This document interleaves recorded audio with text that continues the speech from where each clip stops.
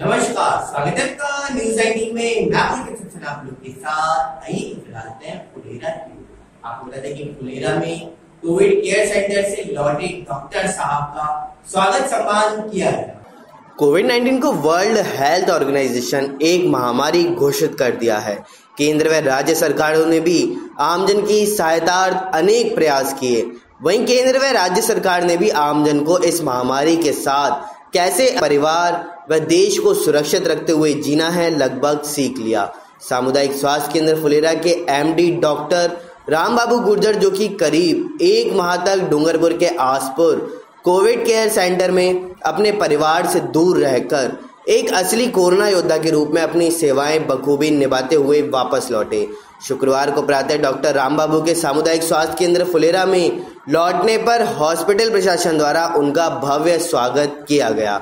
Doctor Rambabu Gurjar ने जानकारी देते हुए बताया कि करीब 25 दिन मैंने डूंगरपुर के आसपर आसपुर कोविड केयर सेंटर में अपनी सेवाएँ दी तथा 14 दिन का क्वारंटाइन होने के बाद मैं आज वापस अपनी सेवाएँ देने आया हूँ। इस दौरान हॉस्पिटल के समस्त स्टाफ ने माला पहनाकर व फूल बरसाकर भव्य स्वागत किया।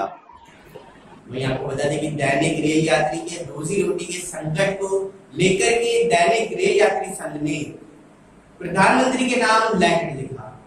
फुलेरा में दैनिक रेल यात्री संघ एकीकृत। फुलेरा के अध्यक्ष अशोक वासदेव ने दैनिक रेल यात्रियों की रोजी रोटी के बढ़ते संकट को देखते हुए प्रधानमंत्री नरेंद्र मोदी, रेल मंत्री पीयूष गोयल और जयपुर ग्रामीण सांसद राज्यवर्धन सिंह राठौड़ को एक पत्र प्रेषित किया जिसमें बताया कि 12 अगस्त तक सरकार द्वारा पैसेंजर ट्रेनों को नहीं चलाने का निर्णय लिया गया, जिसके चलते आने वाले डेढ़ महीनों में भी दैनिक रेल यात्रियों को अपने रोजी रोटी के लिए संघर्ष करना पड़ेगा। दैनिक रेल यात्री संघ एकीकृत फुलेरा के प्रवक्ता एवं मीडिया प्रभारी नीरज सैन ने बताया कि संघ अध्यक्ष वासुदेव ने इस संदर्भ में प्रधानमंत्री, रेल मंत्री एवं सांसद महोदय को पत्र लिखकर अवगत कराया कि पैसेंजर ट्रेन फुलेरा और एम डीएमयू जयपुर अजमेर में कोच की बढ़ोतरी कर चलाया जाए तथा कोच की बढ़ोतरी होने से सोशल डिस्टेंसिंग का भी दैनिक रेल यात्रियों द्वारा पूर्णतः पालन किया जाएगा।